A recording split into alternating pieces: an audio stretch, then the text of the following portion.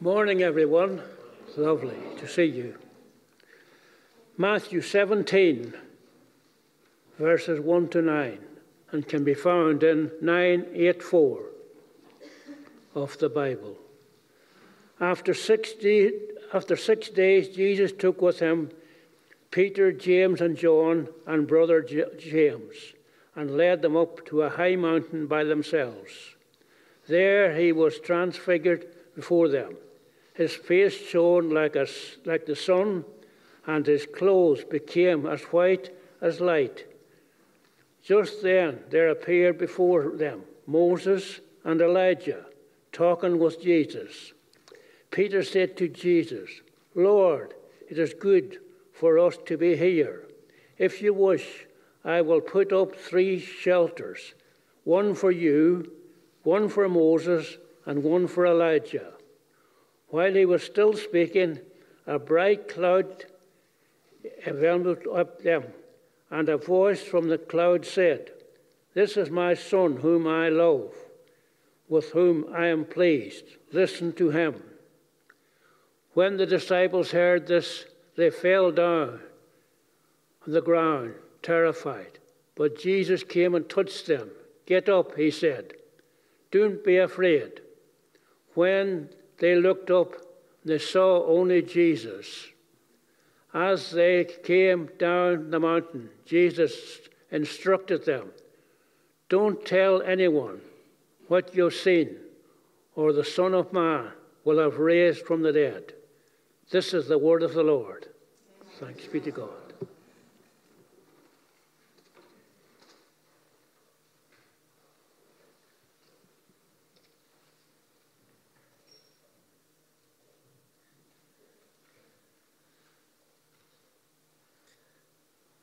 Pray for Charles before he speaks to us. It is space.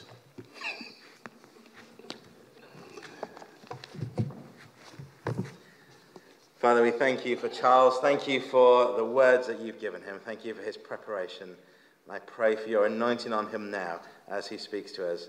And I pray that our hearts and minds will be open to hear from you this morning. And we ask all of this in Jesus' name. Amen. Amen. Well, good morning, church. You know, the last people to know what is going on in people's lives are the people who are actually in the same church as yourselves. So I've decided to keep on um, spreading more of the news. It has been an extremely tough week for me. I, uh, my work takes me to different parts of the world. Last week, I was in Nigeria uh, on Wednesday, last week, invited by an insurance company to teach on transformational leadership for two days. The British Airways flight that we took to Lagos, Nigeria, could not land in Lagos because it's uh, the Harmattan season, which means visibility is very, very poor and very low. So the pilot circled a little bit and could not land the plane. And he said, We've got an option either to go to Ghana, another country, or go to Abuja, the capital of Nigeria. And he tried again for 30 minutes but could not land the plane. So I think Ghana refused to accept them fortuitously because Ghana already had some backload from previous flights, and it's a small country. So we went to Abuja, and I'm thinking, I've been praying furiously in the plane. I'm meant to be speaking the following day. Lord, what's going on? Anyhow, missed that whole day, so couldn't speak that day. Got to Abuja. The Emirates flight already landed with over 300 people because they couldn't land in Lagos either. Virgin landed in the afternoon, clear, clearer visibility. And I'm wondering, what am I going to do here? Over 600 people at the airport.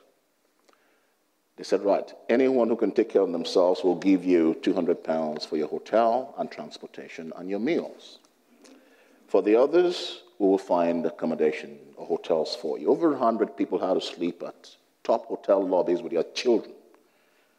There was no space. It was very late in the night. So we made our way. Fortunately, I knew my way around and survived the night. Next day, we waited and waited to hear news from BA. Finally contacted us to come to the airport at 2.30 because BA, they couldn't fly either. They, had to, they were stuck there as well. So we went to Lagos the following day, stayed, spent four hours at the airport, worn out completely, nowhere to sit, and got to Abu, uh, Lagos the following day, got to the hotel about 9 p.m. in the night, rested, and then went to speak the following day. Came out, four days of absolutely stress. Two days in between, we had a good time. I delivered my message. Came back to London. What I didn't mention is that the Lord instructed me since October of last year to begin a ministry, not a church or anything like that. And I wrestled with it for a while because the next thing he said to me, and I want you to do it for free. I thought, for free? Yeah, but I knew I heard him. So I said, yes, Lord. But I dilly dallied for since October. I said, okay. And then the pressure was very strong in December. I said, Lord, I promise you I will do it. So I launched it yesterday in London. I began with a small seed of 20 people. We had barristers, financial advisors, all manner of people showed up. I announced it on Facebook, and people just registered. Hired a hotel place, provided refreshments, everything free, no charge. And systematically went through scripture. God is asking me to take his name back out into the marketplace to business people, to professionals, this is the area where I apply my trade to bring His glory back to the marketplace, to help them to understand that God is in the business of helping you build your empires with His word. There is this misconception that God is not interested in your wealth or success. I have no idea where people get that from. God can take anybody who will believe Him and trust Him to the highest possible level. I'm on a mission to do that. Resounding success. I taught for four and a half hours yesterday. We had a break, refreshment in between. One and a half hours later, they still have refused to leave. Still hanging around, still hanging around, video recordings. Some, someday maybe I may show clips of what people had to say. So to prepare for this message was tough because I didn't have a lot of time. So I asked the Lord, for help. So, what I want to do today is talk a little bit about the transfiguration. But let's begin initially with John, the Gospel of John, chapter 1. The Bible tells us that in the beginning was the Word, and that the Word was with God, and that the Word was God. The same was in the beginning with God. All things were made through him, and without him was nothing made that was made. In him was life, and the life was the light of man. The light shineth brightly in the darkness and the darkness could not comprehend or overcome it. There was a man named John. He was sent by the Lord to bear witness of this light. He himself was not the light, he was sent to bear witness of the light, that through him men may believe that this is the true light that cometh into the world, that lighteth every man coming into the world. He came to his own, or came to the world that he made, and the world did not know him. He came to his own, and his own did not receive him. But as many as received him. He gave them power to be sons and daughters of God. Children born not of human flesh or of blood of the will of man, but children born of God. The Word became flesh and dwelt among us. The only begotten of the Father, we beheld his glory. The only begotten of the Father, full of grace and truth. That is Jesus Christ. That is who we are talking a little bit about today from another perspective or from another dimension. So, the little note that I prepared here is the transfiguration of Jesus Christ. A face shining like the sun, clothes of dazzling white, a voice from a cloud, something powerful is occurring on that mountaintop. But it is difficult for the disciples to comprehend. They, along with others, have known Jesus as a teacher, a healer, even a prophet, along the lines of Elijah or Jeremiah. To be sure, each of these is a role that Jesus fills beautifully, but none alone captures his full identity. Peter gets it right in his confession that Jesus is the Messiah, if you remember, the Son of the living God. But his human limitation prevents his understanding of what that confession he made truly meant. You see, in Matthew 16 28, before we get to 17, Jesus made the startling statement that there were some standing there with him who would not taste death before they saw him coming in his kingdom. Now, six days after the incident at Caesarea in Philippi, Jesus took his three key disciples, Peter, James, and John. He took them up a high mountain to reveal his glory to them. Because you could deal with somebody and not truly know who they are. So they've been hanging out with Jesus, but they have never really seen the real Jesus. This was a privilege for a privileged few to really see and encounter the creator of the world. We remember that Moses went up Mount Sinai into a cloud of fire to receive the Ten Commandments from God, if you remember that. But the elders also in Exodus 24 also went up the mountain where they ate and they drank in the presence of God. So going up the mountain is not a new thing. A lot of massive encounters have happened at mountaintops. You see, when Elijah ran from his ministry in fear of Jezebel, he fled to Mount Horeb. And there the Lord spoke to him with a gentle whisper, if you remember that massive encounter.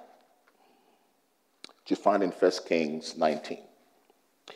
So Jesus takes Peter, James, and John with him up this mountain not only to reveal his glory to them, but also for them to see Moses and Elijah as well.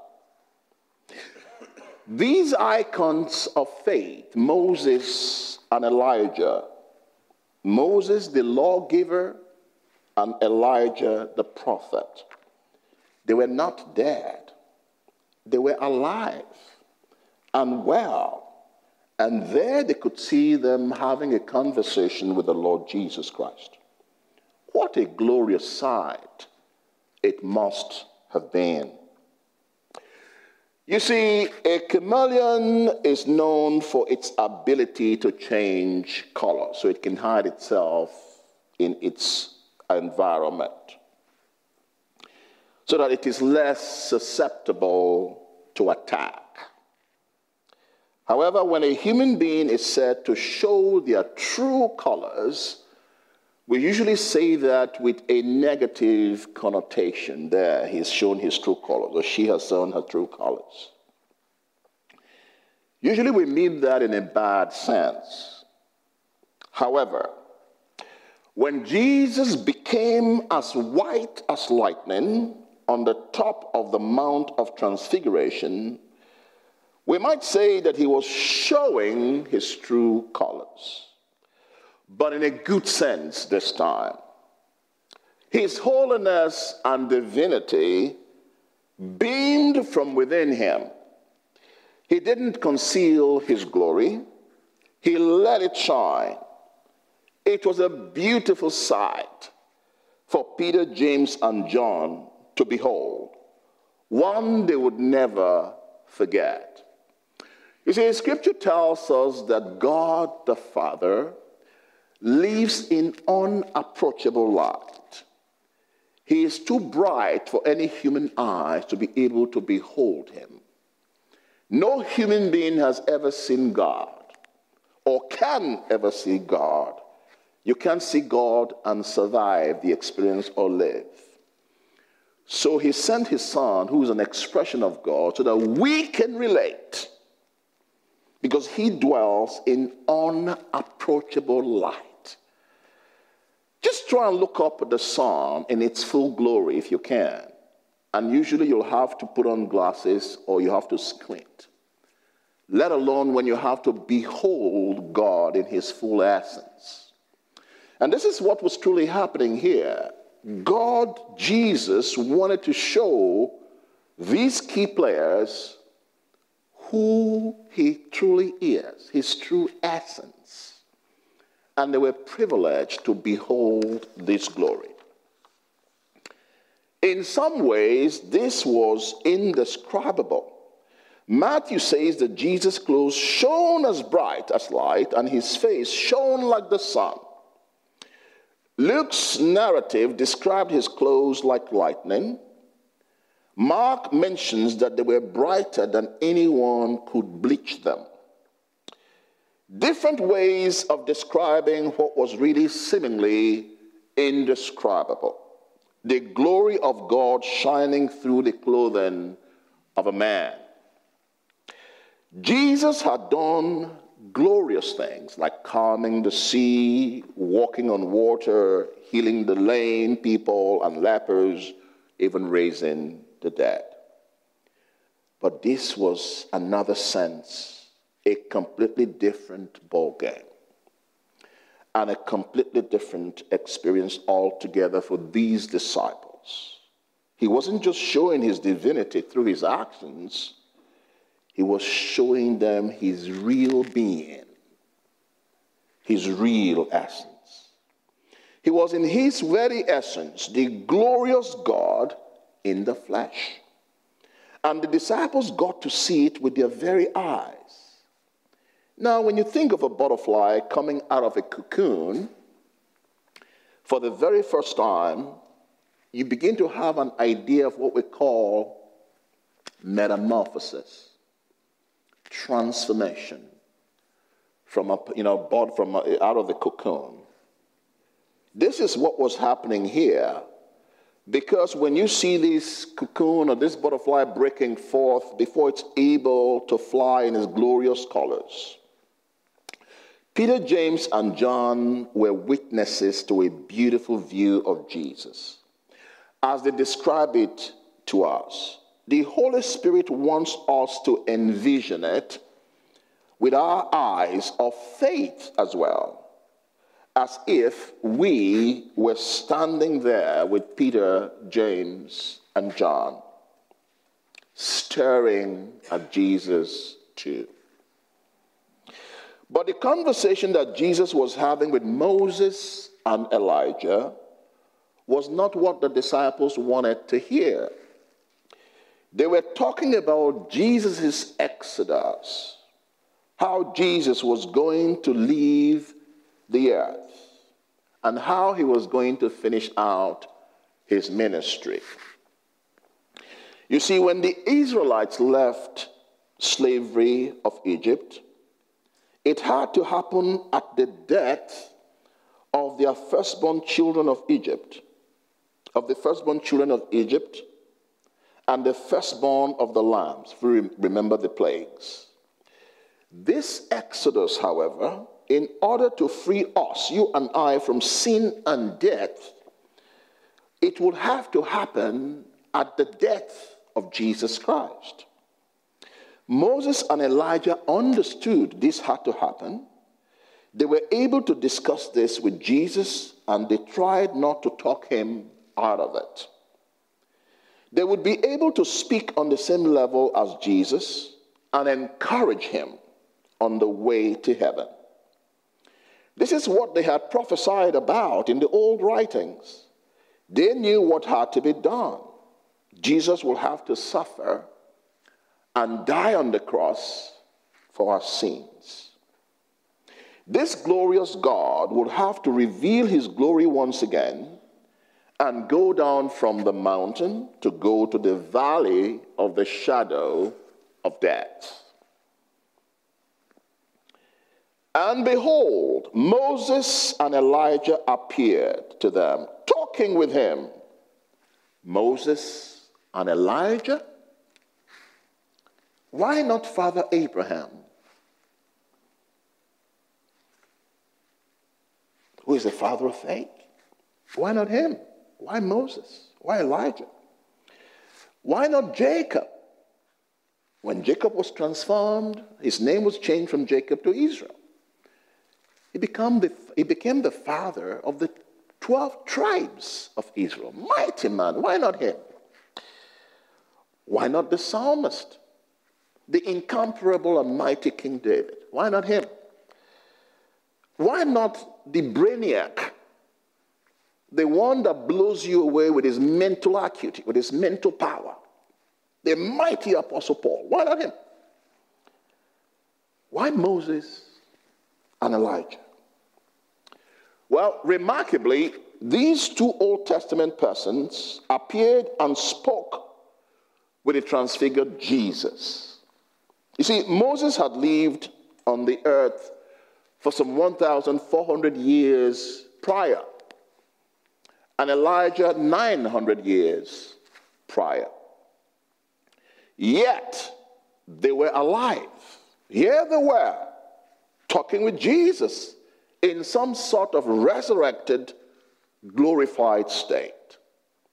So, okay, it is fair to think that these two particular persons from the Old Testament appeared because they represented the law, Moses, or represented the prophets, Elijah. These were the sum of Old Testament revelations. They came to meet with Jesus at this Mount of Transfiguration. We can also say that Moses represents those who die and go to glory. And Elijah, we may say, represents those who are caught up to heaven. If you remember, he went in a chariot to heaven without dying. So this could be as in the rapture, where we will all be lifted up, which you'll find in 1 Thessalonians 4 13 to 18. Who knows? However, from this we see saints who have long departed still live. They live in their personality because they could identify this was Moses and Elijah. They can still be known by their names and enjoy near access to Christ, talking with him. Luke 9:31 tells us the theme of their conversation. What were they talking about? They spoke of his decease which he was about to accomplish at Jerusalem. They spoke of the upcoming work of the cross and presumably of the resurrection that will follow. They appeared unto them the disciples, but they talked with Jesus Christ.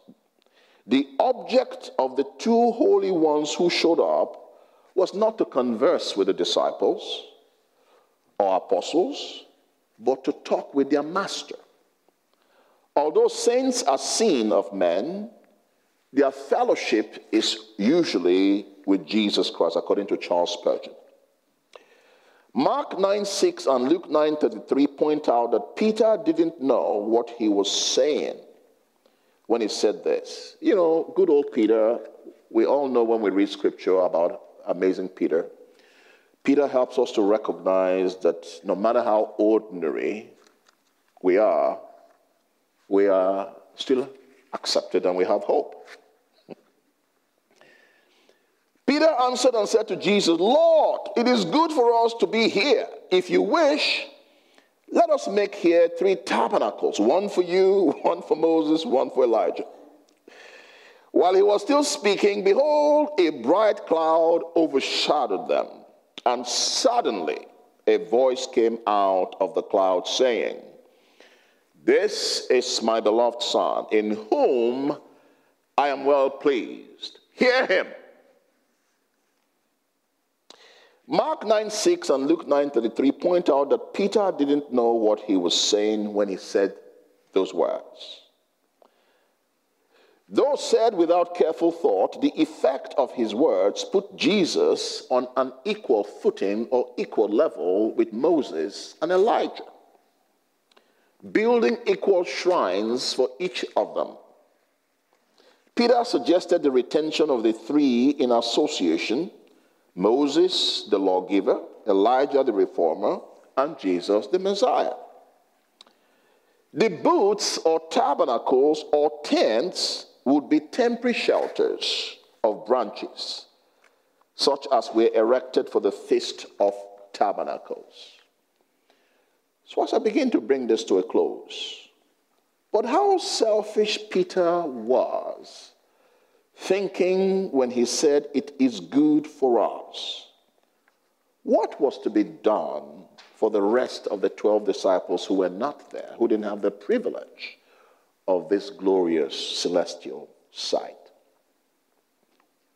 What were to be done for the rest of the world? A bright cloud overshadowed them. This is the cloud of God's glory known as the Shekinah glory from the Old Testament. From this cloud of glory, God the Father spoke. You see, when God draws near to man, it is absolutely necessary that his glory should be veiled. No man can see his face and live. Hence, the cloud in this instance and in other cases, according to Charles Spurgeon. This is my beloved Son, in whom I am well pleased. Hear him. The Father from heaven rebuked Peter's attempt to put Jesus on an equal footing with Moses and Elijah. And while he was still speaking, it was important to interrupt Peter so that all would know that Jesus is unique and is the beloved son. He deserves our special attention, cannot be mixed with the rest. The occasion was most august. When the Father speaks, the disciples are overwhelmed. All they can do is fall on their faces. They are in the presence of holiness and majesty. And it is a terrifying situation just like it was for Adam and Eve in the garden.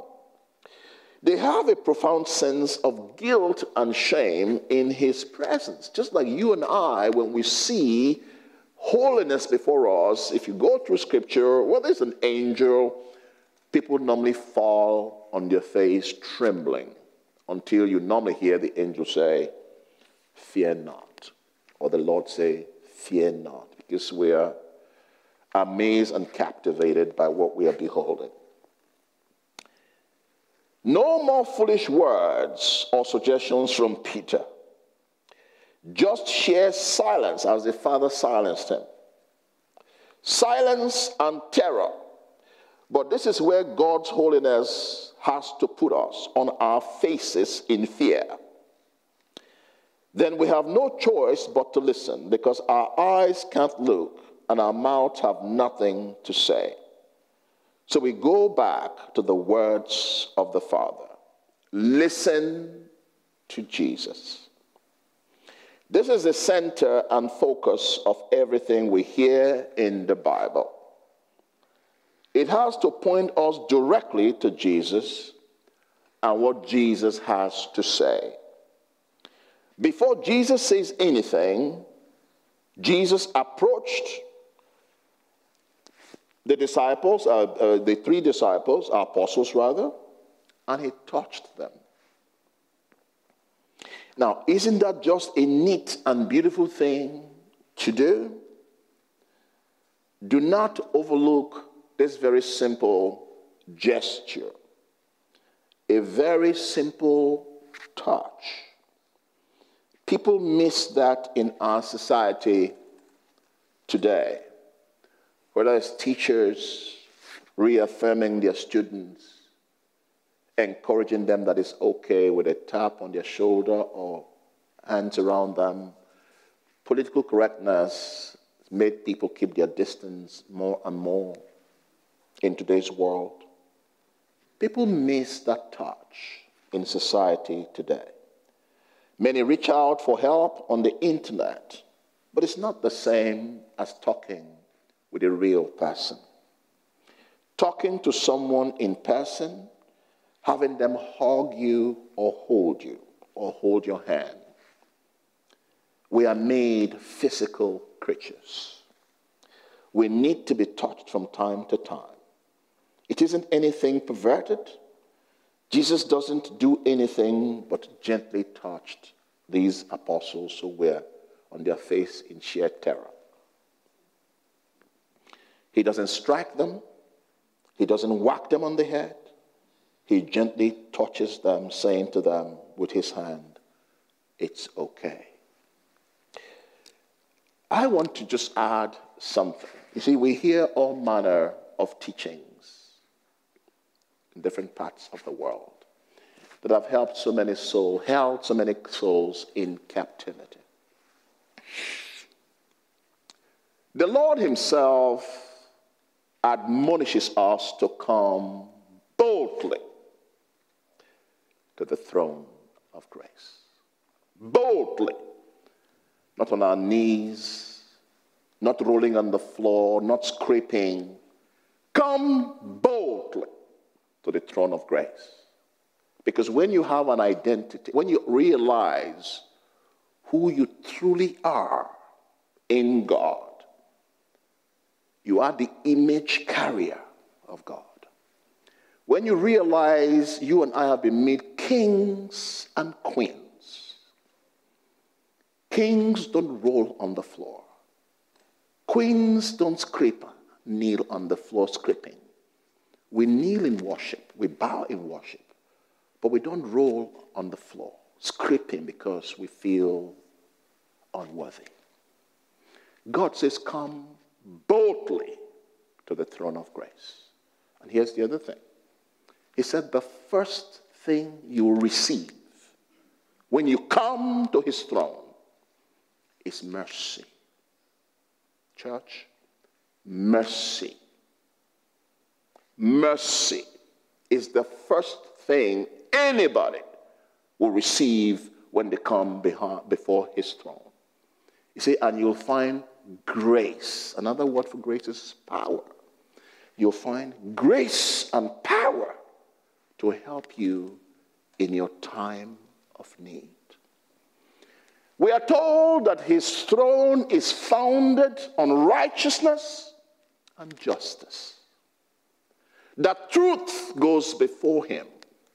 Listen, know your place in God. Know how God sees you. You are worthy. He's made you so. He is not angry with you and I anymore.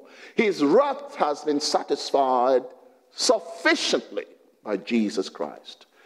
Come boldly and ask for anything from your Father in heaven, and he will give it to you.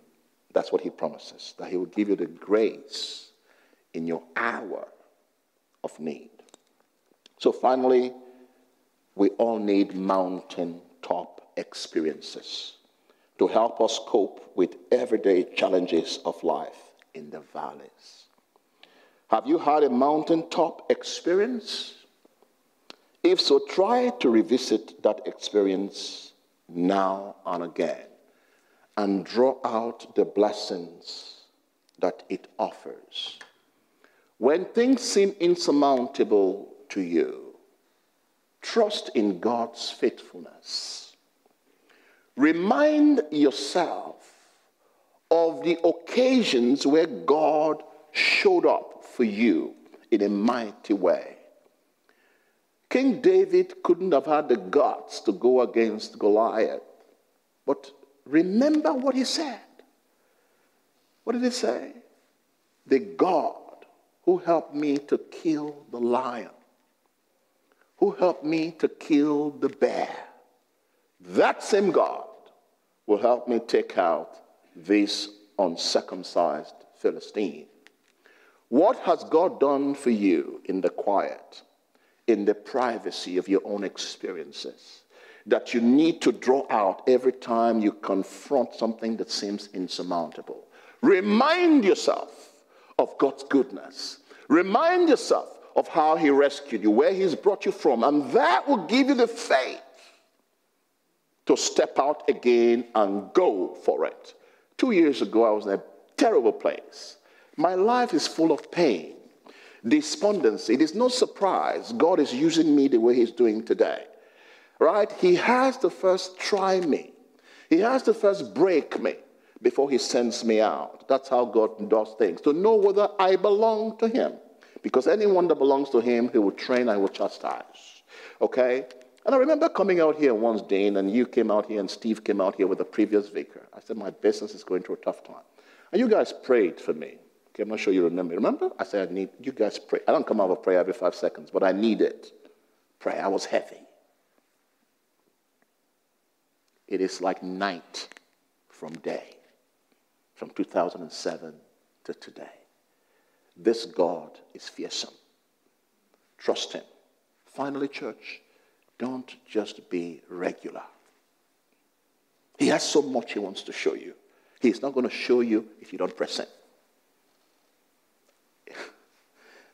Ephesians 3:20 says he's able to do exceeding abundantly above. Paul ran out of words.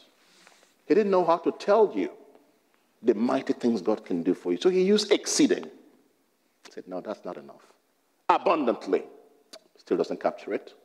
Above what you can dream, think, or desire. But what? According to his power that works in you. My question to you how big is that power within you? Thank you, church.